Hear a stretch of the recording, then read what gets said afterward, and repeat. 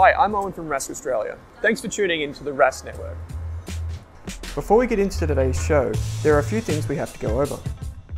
Firstly, what you're about to hear and see is limited to general information only.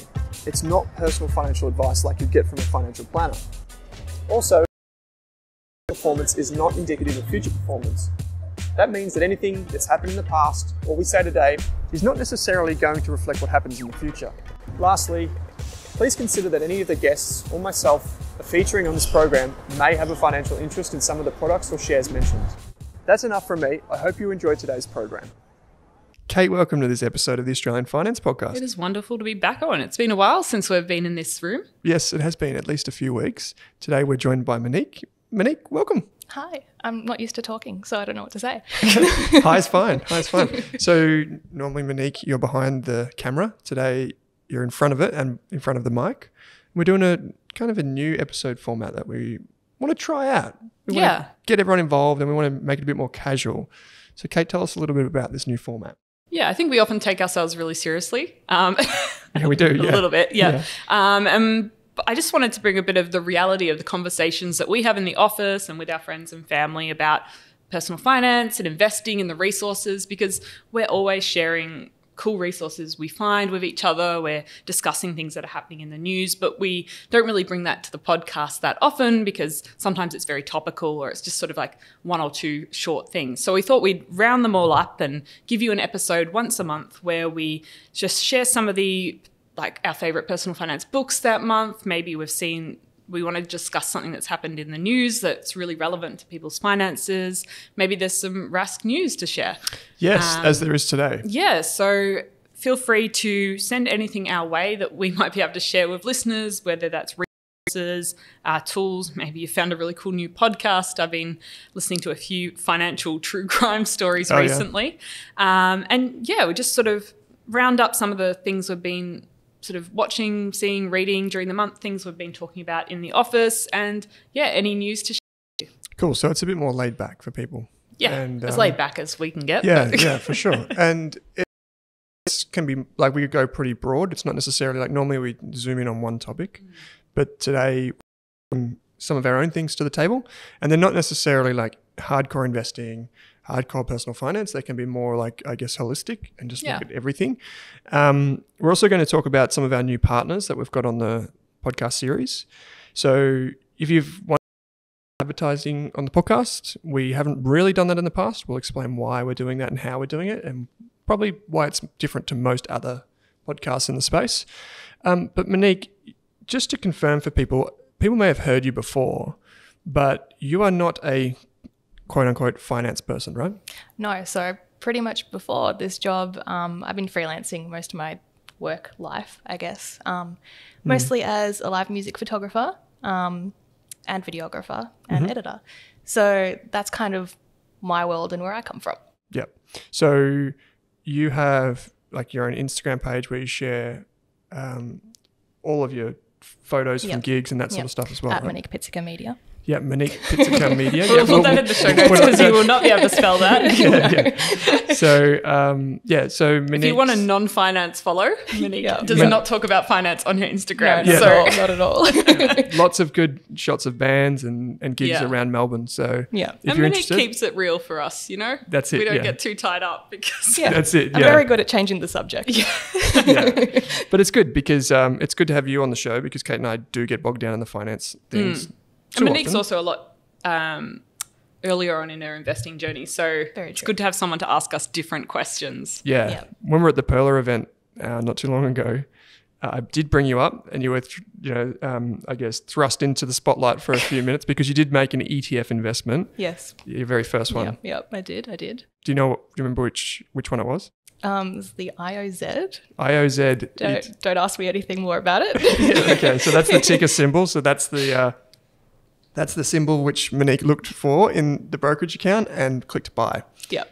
So That's my very first one. And I haven't looked at it in a while, so maybe I should. maybe you should check in on it. Yeah. So Maybe not this week. It's not one that we recommend. Yeah, yeah. It's a bit of a wild week for us this week on the stock market, so let's not go there. Um, okay, so we're going to bring a couple of things to the table each just to talk about. Yeah.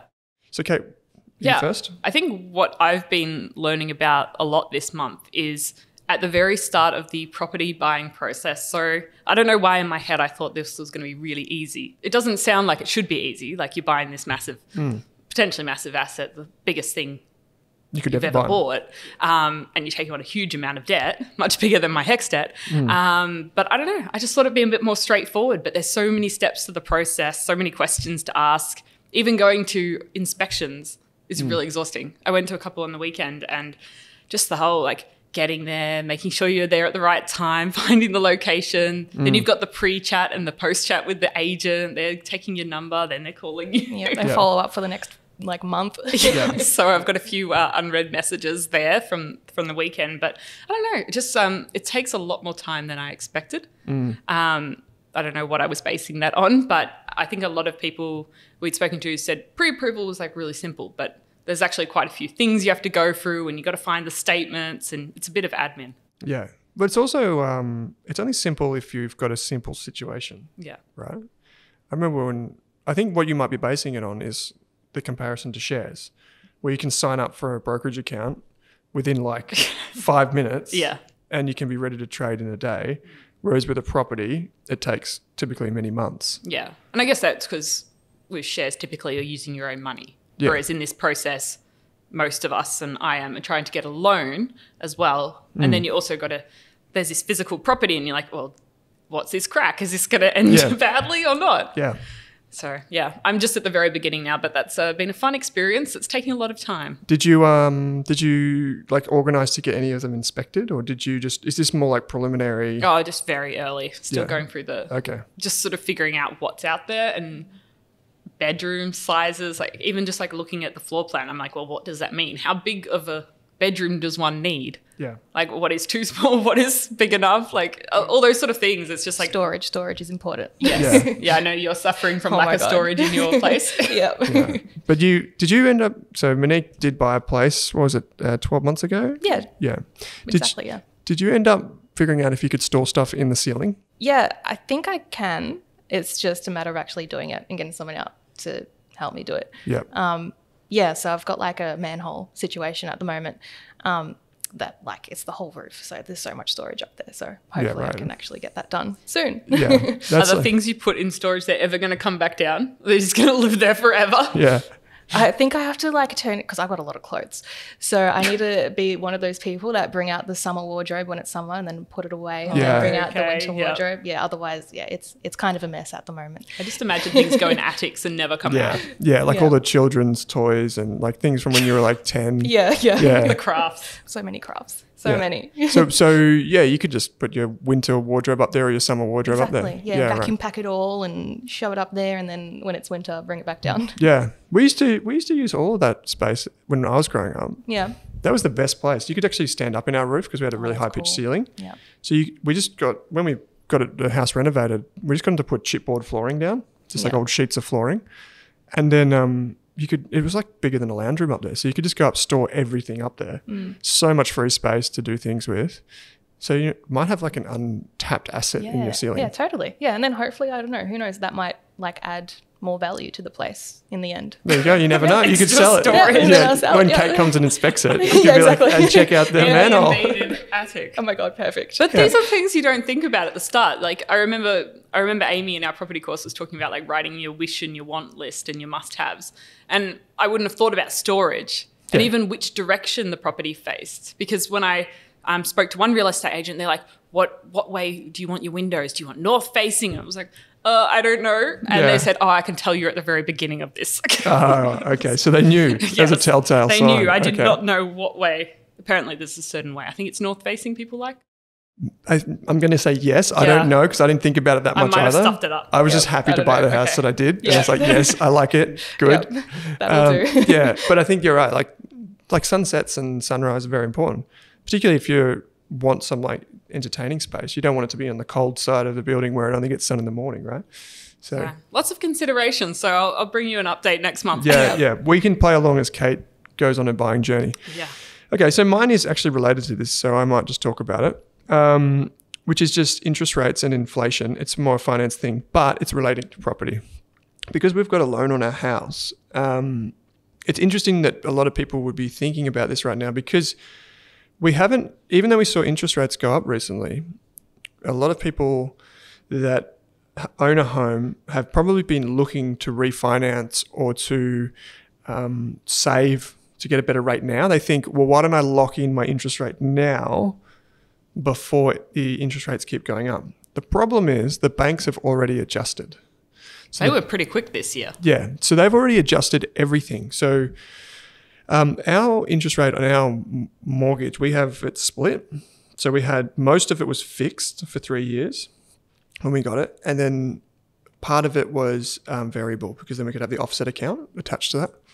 And um, I spoke to our mortgage broker at Wealthful, which is Ben Sum, and Ben basically said, "Listen, Owen, if you wanted to refinance now, you should think again because your fixed rate still has like a year and a half to go on it, and it's so much lower than anything you can get in the market right now." So he's like, "Just stay, keep it there for as long as you can." You could maybe look at adjusting that other little smaller part, which is the variable bit. Um, but one thing that we're doing at the moment is actually refinancing the house. So, sorry, like revaluing the house to determine, so the bank can determine how much equity we have in it. Because then we might be able to, if house prices fall, we might be able to use that equity to buy another house if prices fall. So it's like kind of going on the offensive instead of the de- defensive. Whereas a lot of people would be thinking about, okay, let's reduce our rate, which is obviously if anyone can do that if they can. Like think about that now. What a great statement. Anyone can do that if they can. yeah, yeah. Like like if, if if you're in a situation like where you can refinance or you can like negotiate a better rate, you can do that now. Yeah. Um, whereas in my situation, um, we couldn't really because we we're already in a, a really good rate.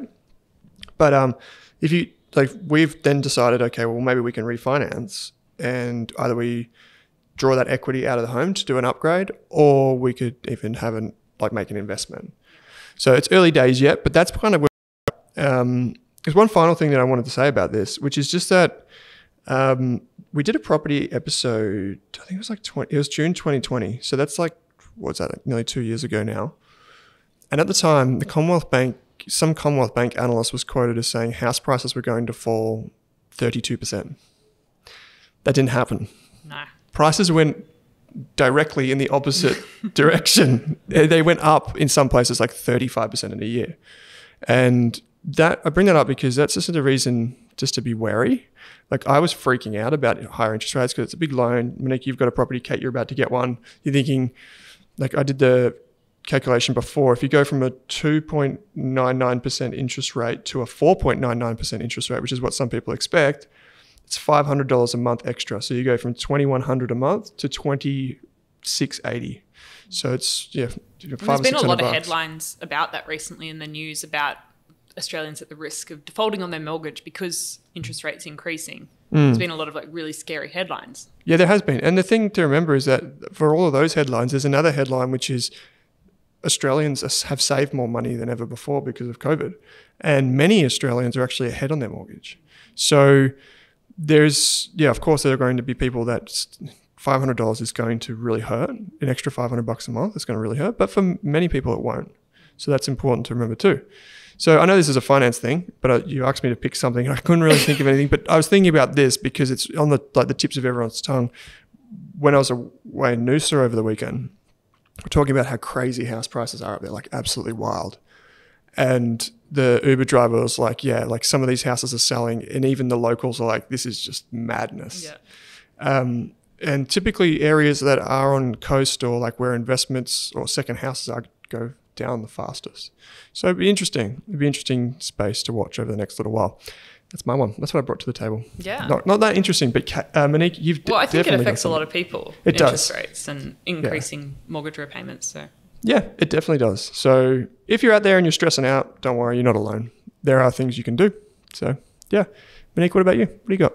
Yeah, mine's really random, I guess. Mm-hmm. um, so I actually came across it a couple of weeks ago. Um, like when you're in the gig economy, you don't really know what to charge when particular jobs come your way. Yeah. Um, I find like, well, in my circle of friends, um, like it's just an ongoing thing. We're always asking each other, and sometimes they're a bit funny about like asking, uh, telling you like what they actually charge, what their rates are, and stuff. So I found this cool little. It's almost like a spreadsheet.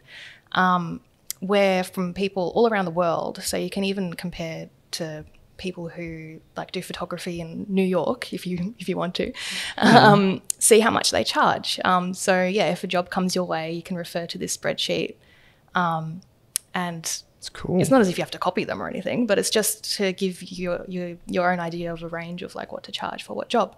When it comes to yeah, like photography, videography, graphic design. I think I saw one like something about brand management in there. So there's a really wide range of um, creatives in there. Here's one um, freelance designer in New York. Um, they do animation and graphic design. Um, they did a lo- the specific job was a logo design for a podcast. They charge 40 bucks an hour. Yeah, there you go. Yeah. yeah. So, and you can see like male, female experience, whether it was remote or in person. Like Yep. this, what, nearly 9,000 people have put something in here. Yeah. What was the website?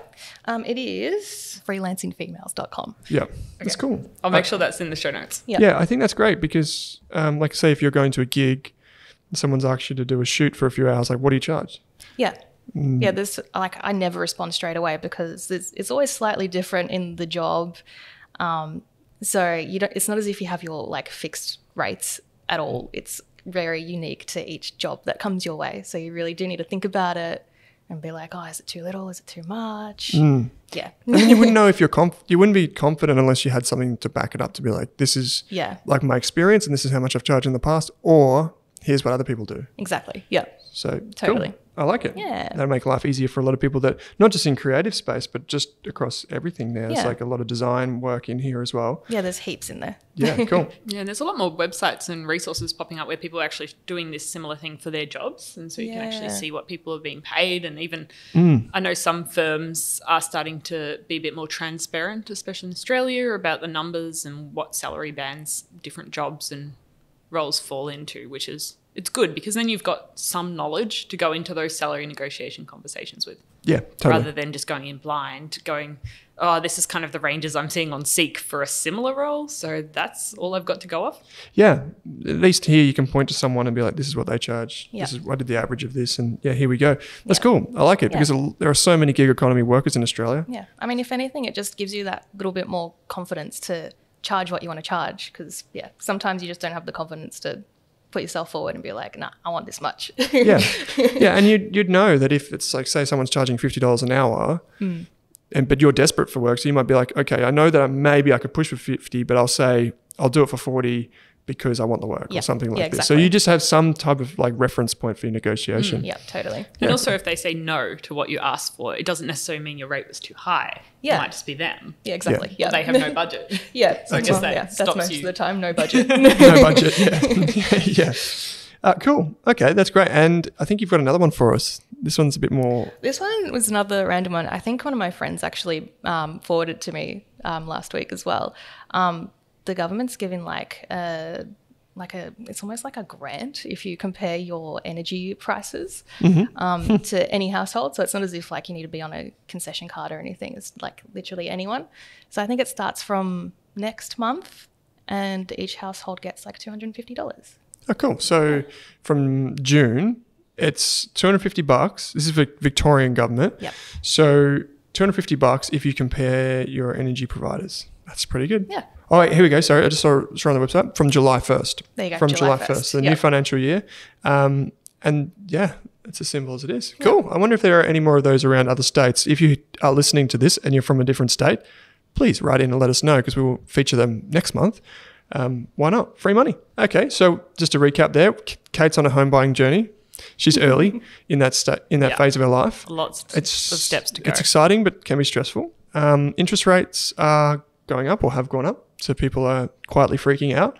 Um, you can look at getting your house revalued. You can compare your rates. You can use any of the websites or just call the bank itself.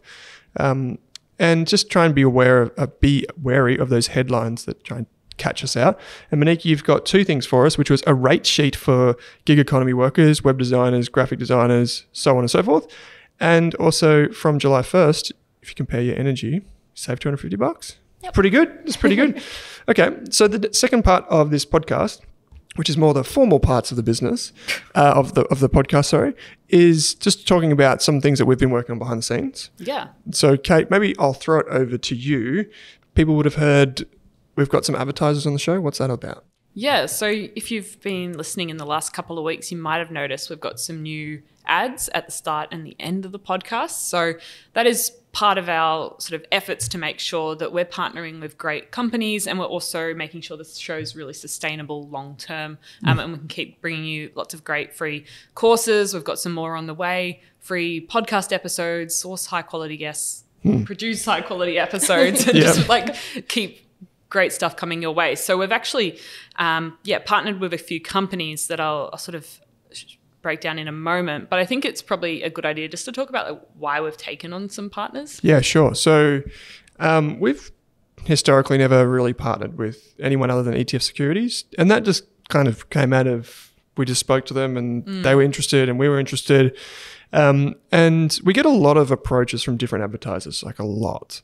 Um, they just send in random emails and they'll be like, hey, did you want to do this? There's this crypto thing coming up. There's this new brand of underwear or whatever. Like it's just totally random. And like most of them, well, at least all of them, basically up until now, we've said no. So we thought, well, let's actually do something with the podcast. It probably takes us at least, what would you say, like eight hours of effort to produce one podcast of an hour's yeah it's Length? quite a lot of work yeah, at least. So um, people don't think that. They think they just you just rock up, hit record, and you walk away. it, t- it takes a lot. Like we've got the three of us, then we've got obviously the guests and all their talking points, and then we've got creative stuff like social media, all of that sharing stuff, emails that we prepare to send out to our mailing list, and well, the list goes on and on. That's just the podcast, and then we've got on the education side, we've got free courses that we've been doing for years. Um, and basically, having sponsors or partners on to advertise on the podcast are a way for us to monetize and then pay for all of that. So, by bringing these sponsors on, we're not going to be retiring early. We can say that much. Um, we're not going to be, um, you're not going to see us. I've still got a few years before 40, Owen. Yeah, yeah, true, true. Yes, you do. Um, we're not going to be driving down uh, Collins Street in Melbourne or something like or George Street in Sydney with a Lamborghini or something because of these advertisers. This is like our attempt just to make things sustainable, as you said. And so we plan our our plan is just to have a maximum of two advertisements at the start of the show, and there would probably never be more than two at the end of the show. So and that's And none during. None that during really annoys me when I listen to other podcasts. Yes, yeah. You're walking along, enjoying the show, and then bam, yeah, that's mid roll. Yeah, I think Tim Ferriss does a good job of this. If anyone listens to that, um, his are quite long at the start. Ours aren't anyone anything like that. But um, the way we think about it is like if we've got good partners that can bring something to a community, whether that's they've got good guests, which we'll go through in just a sec, or they can offer our community something for free or help them in some way. Like if you're already investing, can we make that cheaper for you? Um, when we do events, get some support for events because they take a lot of effort and time. So all of these things, it's kind of like if we can find groups that work want to work with us and educate people, then why Yeah. wouldn't we? And I think the other important thing that I want to add about the partnerships is they're just sort of a flat fee. So Yeah. if we give you, um, if we can give you a special code to get a discount or some extra brokerage credit or something like that, we're not getting a sort of volume based commission based on that. It's just completely flat fee. There's no sort of kickbacks per code usage, which Yeah. we've made sure of. So if you use a code and get a special discount, we don't get anything for that individual thing. It's just a clean flat fee. Yeah, it's just for them to know where you've come from and also to get the perk. Yeah. So we have always been in the business of like education and memberships. So this is kind of new to us. And when we came into it, we really didn't want to have an advertiser this month and advertiser next month because quite frankly, we don't want to do that. Like we, we're not searching for the highest paying advertiser. We're not really interested in that. We are all of the partners that we bring on, we want to stay on permanently, like for long periods of time, like years, hopefully. So for us, um, we don't need to do those volume based things. Um, and that can add a different layer of complexity to like the marketing and whatever. And we don't really want that. So keep it simple. Um, and it, we just try and bring things from them to you. That's basically it. Yeah. So um, yeah, if you want to have a look at all the partners, you'll find. And then in the podcast description, there'll be a link to that platform. Yeah. So it's pretty easy to find. Um, and if you want to learn more about them, you can. Yeah. And that's basically it. And obviously, it helps us if you do go there and you do use the code that we set because then they know that it's worth advertising with us. And that's that's basically how it all comes together. So let's introduce some of them, Kate. We've got we'll spend a, just a couple minutes on each, but um, why don't we start with Pearler? Yeah. So our first partner for the finance podcast is Pearler. So they're our broker partner. So Pearler is, I mean, we've talked about Pearler in one of our brokerage Episode. comparison episodes before, Yep. but Pearler is they make investing simple. It's a way to buy your Australian and US shares and ETFs. Um, I think they're about six dollars fifty in brokerage at the moment, flat fee, and even cheaper if you prepay it. But one of the cool things is that you can actually automate your investments. So instead of having to manually go in every second month when you've hit your thousand dollars to place your buy order for the next ETF, you can automate it. So um, your portfolio automatically invests that thousand dollars um, into an ETF when you um, when X amount of rules are triggered. So you can set all of this in your portfolio. You can set your goals, um, and they've got community features as well. And I think they just they keep it real. And Yeah. instead of like um, the other brokers that are very corporate, Pearler is more human focused and focused on their user, which is really different and refreshing approach. So one of the things that we like about Pearler is basically that ability to automate. And once you automate, then you can basically just set those long-term goals in motion and things can just trickle into the account, trickle into the stock market or wherever you're investing. And the fact that it's flat fee makes makes it really transparent as well. Yeah, Because we know that it's like automating the good stuff in your finances, yeah. and this is one way to do it. yeah, we know that time in the market is what's really important, not time in the market, but time in the market and staying invested for long periods of time is of um, Yeah. Pearler on as our partner on the We're Australian Finance to Podcast. Share some more of their guests on the show, and they've got some great data on Mm. ETFs and what people are buying and selling. So we get to have a bit of a look behind the scenes during our ETF episodes, Mm-hmm. um, and also they're going to help you as well. So normally you'll be able to use the code RASK R A S K to sign up and get ten dollars of Pearler, they call it Pearler credit, but it's essentially money that you can use to offset against the cost of brokerage. So Cool. um, but during May, um, they're actually giving you fifty dollars of Pearler credit if you sign up using the code RASK. So So yeah. that will cover quite a few purchases of Yeah. your ETFs. so yeah, I think you have to use that in the first six months of signing up to the Yeah. platform. But yeah, basically you can join, get free brokerage for a limited number of trades. Um, and there's also to, to celebrate us launching with Pearler, um, you can go in the draw to win $1,000 as well, already funded in your Pearler account. So um, all you've got to do is sign up in May using the coupon code RASK and place a trade, if I'm not mistaken. Yep, make your first investment. and you go in the draw. It's pretty simple, and you'll see it on social media as well. So um, get around it. Um, comment your friends in if you if you think that they would be interested or they're new to the platform. Monique, I know you checked out Pearler even before I'd heard of it. you you were like, oh yeah, I was on there the other day. Yeah, yeah. I was when like, well, I still don't really know much, but um, it was the first like account I opened um, just to just to have a look. And the one thing that I liked the most about it is that you can see other people's portfolios. Yeah. So someone like me, no idea about anything. Um, like I just saw the people on there and how they like even structured their portfolio and what they liked and stuff. And then Yeah. that kind of gave me like, oh yeah, maybe this one's good. I'll have a look at it. Yeah, yeah, I'll have a look at that. Yeah, so you don't necessarily have to like do exactly what they're doing, but you Yeah. can just look at what other Yeah. people have been doing is yeah. kind of like ideas for you to go and research. Yeah, cool. Yeah, cool, yeah, and we'll have a profile as well that people can follow along. So I'll include that in the show notes as well. cool. Um, so it's kind of like Twitter, but for finance. Yeah, You can follow people's portfolios, which is kind of cool. Yeah, cool. So that's Pearler. Um, you'll find the links in the show notes. Uh, the other one that we've brought on recently, um, so these are both in addition to ETF Securities, who have been our long term partner of the show, and they've appeared on the show a few times, as you know, Yep. which is great. You might know them for the gold ETF. They've got a few others. Yeah, the Fang Plus ETF. Uh, there are heaps. So they're specialists uh, in those like uh, commodities focused ETFs, but also with thematic ETFs. So they've done a great job with those. Um, but the other one that we've brought on is InvestSmart. So InvestSmart is a different brand for a lot of people. It's for our demographic at least. For an older demographic, it's very very popular.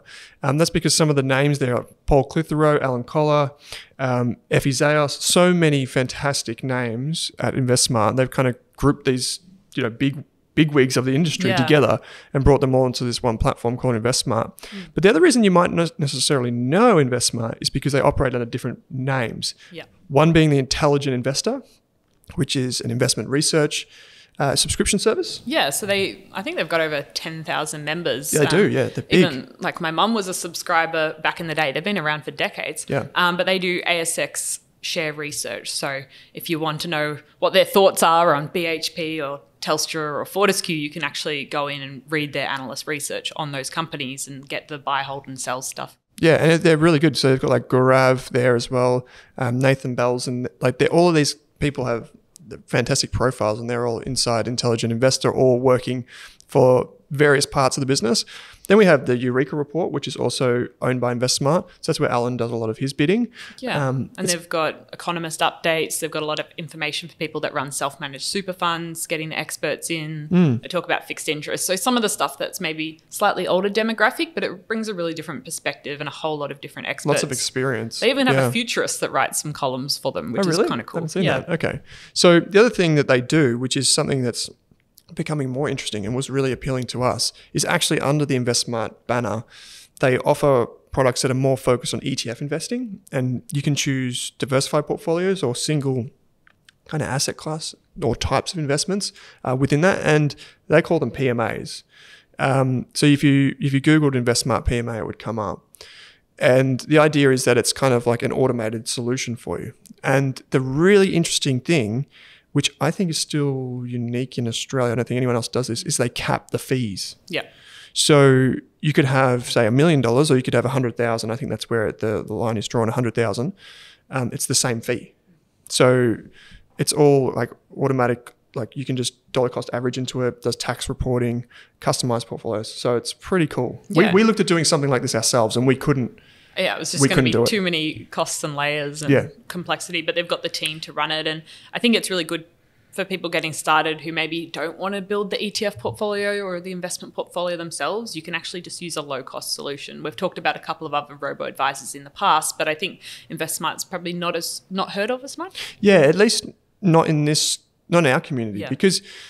And and the thing is, they, they probably should be because they have low fees. They have an experienced team. Yep. They do all. It has all the same functionality as Get all. your own holder identification number, Yeah. all those sort of things. So it's got all of the things you would you would want, um, and it's run by people with experience, and it's ASX listed. InvestSmart is actually on the on the stock exchange itself. Yeah. So it's you know it's like it's audited, it's properly checked, all all the balances. Um, so it's a it's a really good partner, InvestSmart. And like they've got a lot of experts. So we're hoping um, to bring some of the experts onto the show for different episodes. So bringing Yeah. some of the analysts in because I know listeners love uh, episodes on shares. Yeah. Um, and maybe even Effie Zahos. I've spoken to her before Yeah. and she's fantastic, especially um, talking about all things personal finance. Personal finance. so yeah, that will she's be great. wonderful. Yeah, cool. And so you can stay tuned because we are going to do a giveaway for InvestSmart and um, bring those guys together with us. Um, and we're going to do a bit of a giveaway, kind of like we've done with Pearler, maybe in a slightly different way. We might give away some in-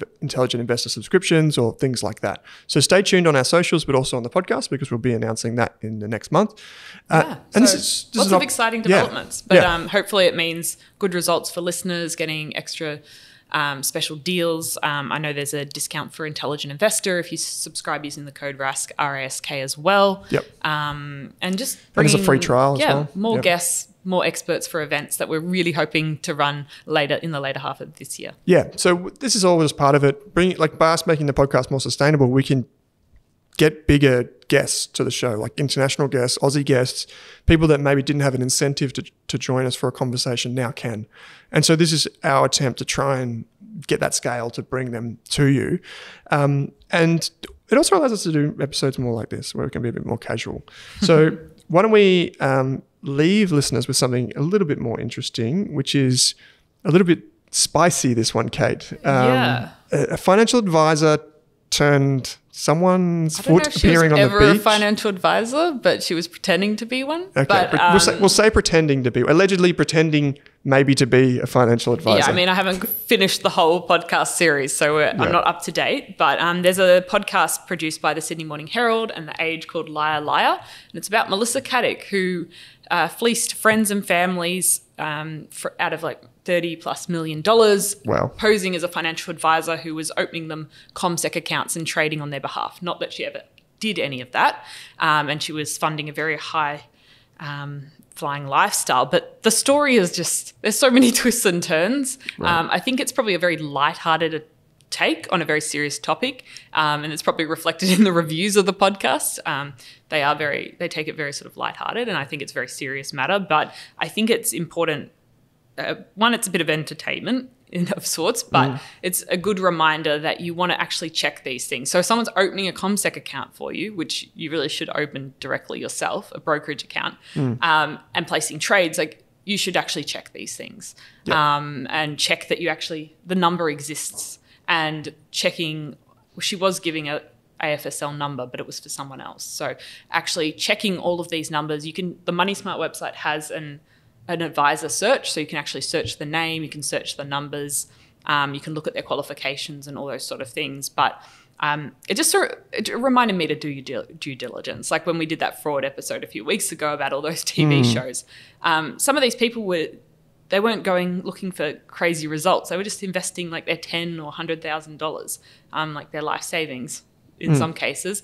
Um, but yeah, it's just be really, really careful. Yeah, it's hard because we say check the AFSL, but the people that do these cons know that that's what you're going to do, right? So Yeah.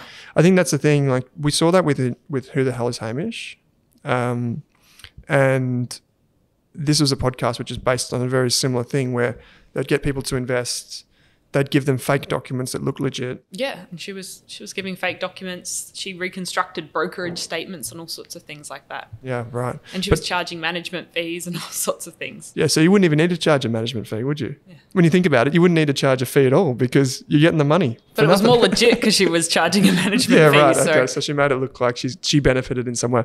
Yeah. Um, also, um, if your financial advisor takes more photos of themselves in the gym than at the office, that's probably a concern too. So um, keep that in mind. yeah, Um, so that it, I think it was a quite a good podcast series to sort of open your eyes to that. Mm. Um, but it is a very lighthearted take on a serious matter. Like, Okay. a lot of people did lose their life savings, so Yep. I think it's just you always always need to ask questions. Um, so Yeah. what was it like? Trust but verify. Trust but verify. Okay, Yeah. That's a good one. Um, and you've also read a book, Die with Zero. Yeah, another interesting book. Another It's- great, um, light-hearted. Uh, yeah, this was title. not about like dying with zero by getting scammed. It was more about structuring your life in a way that you didn't end up with all of your assets at the end of your life and no memories. And it was really thinking about memory dividends and sort of the experiences you have earlier in your life actually pay off over the decades. You might retire with a million dollars, but if you haven't, you might not be able to do the things you wanted to do because you're not well enough, you're too frail. So it's Yeah. actually making sure you use your money as you go through life. Um, and it's just, a, I mean, the book could have been written in a few pages, but uh, I thought it was a good, a good eye opener and a refresher. Like you would have to have some investing sort of basic knowledge to Yep. read this book and have it be worthwhile. But I thought it was a good discussion starter as well, and it's been mentioned a lot on. Yeah. Um, so Die with Zero is the book. Um, first few pages. Probably get it from the library. Okay. okay. But it was good. Or read like a review. Like it could be summed up in a few pages. What are those? Yeah, like you get those short notes, like the books that are only like ten pages. Yeah. Uh, summaries of like the big books. Or Blinkist. And like Blinkist, that. yeah, they'll do it I do you. think a lot of personal finance books could be written in a few pages. yeah, but you know why? It's because the personal finance book publishers tell you you have to write uh, Yeah. pages Well, people don't want to pay 20 because dollars. they're not going to pay twenty dollars. Yeah. So you, they force you to write more, which is yeah, like we've talked about this before. You could probably just do it in like fifty pages and done. Yeah. The more personal finance books you read, the more similarities you start seeing between them all. Yeah, save something, invest it, Yeah. enjoy your life. There's a lot of similar vibes. yeah. I mean, you've been discovering some personal finance books in your parents' attic recently. Yeah, yeah. The, my parents are doing a big move, so dad's been digging out some books and showing me, and brought some in here. So Yeah, yeah. So, Yeah. so we may have a giveaway courtesy Yep. of Monique's dad Yeah. in the next few weeks. Stay tuned for the uh, latest in uh, property investing from 2007. it's good stuff. it's come out of the attic. But um, just fi- one final thing is um, don't re- don't forget the Get Started Investing course. It's free. We launched it in collaboration with Equity Mates. It's available on Rask Education, totally free. As it says on the tin, Get Started Investing. It's after their book, uh, which is a great book, and it can be like a companion for that, where you can uh, just take the online course, do the quizzes, and just help yourself get confidence to make that first step Once you've done that, the rest is easy. Uh, so that's it for today. If, you, if you do have anything to share with us, feedback or whatever, however we can do better, if you want to get in contact with Monique, Monique, get get some gig photos done. Um, down. she's got So a rate down. card, just so you know, it's fully transparent now. um, you can head over to the Rask Australia Facebook page, Yep. Facebook page, pardon me, and or community, and um, jump in there, say good day, share what you want with us, and um, we'll go from there. Yeah, and we'll share the giveaways and the resources we mentioned in today's episode with you there as well. Keep the conversation. Kate, Monique, thanks for joining me on the Australian Finance podcast. This is fun. You made it. Yay. Done. Officially a second time podcast start. oh my God. I've made it. All right, and thanks for listening.